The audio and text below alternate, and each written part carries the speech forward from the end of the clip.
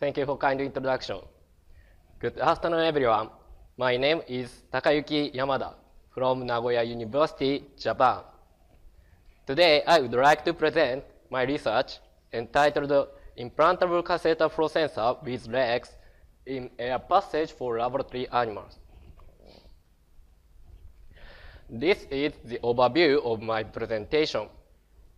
At first, I talk about introduction, including research background, our previous research, and why do we propose new type catheter flow sensor. Then, I introduce new type implantable catheter flow sensor with its features and advantages and fabrication process. Next, I report experiments and results. Lastly, I conclude my presentation. So let's move on to introduction section. For understanding physiological relationship between respiratory diseases and uh, symptoms, the disease model animals are basically used. And uh, tidal volume values are measured to evaluate the respiratory function of the animals. As a measurement condition, direct measurement in air passage and free move condition are required. So, we previously developed a miniature catheter flow sensor. The sensor is shown in the middle picture.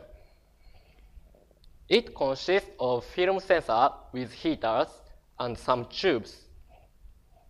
The measurement principle is anemometric. Heaters measure the flow rate passing in the tube. This sensor can measure the breath of the animals, but it obstructs the ciliary motion. As shown on right, right picture, the surface of the air passage covered with ciliated cells and coated by mucosal fluid. Virus and bacteria invaders are trapped in the fluid and uh, transported outside the lung system. This means that an implantable catheter flow sensor has to be fixed inside the air passage without obstructing the ciliary motion. So, we propose new type implantable catheter flow sensor. This sensor has four main features and four advantages pro produced by those features. The first one is leg structures. It enables the sensor to fix inside the air passage without obstructing ciliary motion. The second feature is biocompatible materials. The sensor substrate is a biocompatible materials of Parylene HT film. So it can be safely implanted. Thirdly, the sensor has two heaters called double heater. By comparing the outputs of those two heaters, this sensor can detect both of the flow rate and the flow direction. At last, heaters are placed inside tube forming ring shape. Thanks to this configuration, this sensor can measure the flow rate under non-uniform and asymmetric flow condition. Then, I introduce the fabrication process of this sensor. The process could be divided two steps. First, film sensor was made by photolithography and liftoff process. Then the film sensor was packaged in tube which have leg structures. In the beginning of the process, 15 micrometer Parylene HT film was coated on a glass wafer. Next, a negative type photoresist was being coated on the film surface. The photoresist was patterned by ultraviolet light exposure.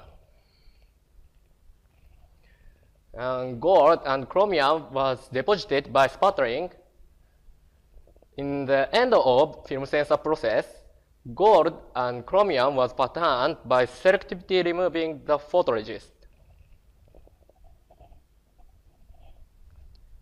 Next, the film sensor was inserted in heat shrinkable tube. Firstly, the film sensor was inserted in Teflon tube with legs and filled the gap between the film and tubes by silicone oil.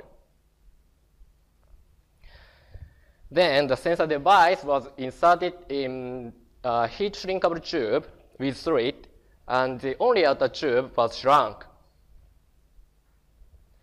After shrinkage process, enameled wire were connected to the film sensor. In the end of fabrication process, one more heat shrinkable tube was used to fix full connecting area and sensor device was coated by Parylene. So I have to mention how to make leg structures. The incision called straight leg was made on one side of heat shrinkable tube. Then the heat was applied and the tube was shrunk. At the same time, the straight leg was automatically curled up, and the leg structure shown in the right picture was obtained. As an experiment, we investigate the leg shape when length and the number of legs was changed. The leg length, large L, varied from 1 to 3 millimeter, every 0.5 millimeter. The leg shape was optically confirmed and the radius of curvature was measured. In the next step of this research, the sensor will be applied to a rabbit. So, by considering the size of rabbit air passage, L equal to millimeter was suitable. In the next experiment, we use L equal to millimeter. The number of legs, small n, was changed 3, 4, and 6. We optically confirmed the cross-sectional view, and when we chose n equals 3, the contact area to the wall of the air passage is minimally.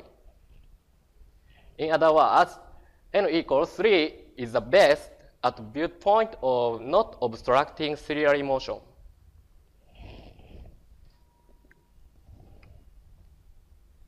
To investigate the sensor characteristic, we prepare the experimental setup like this picture.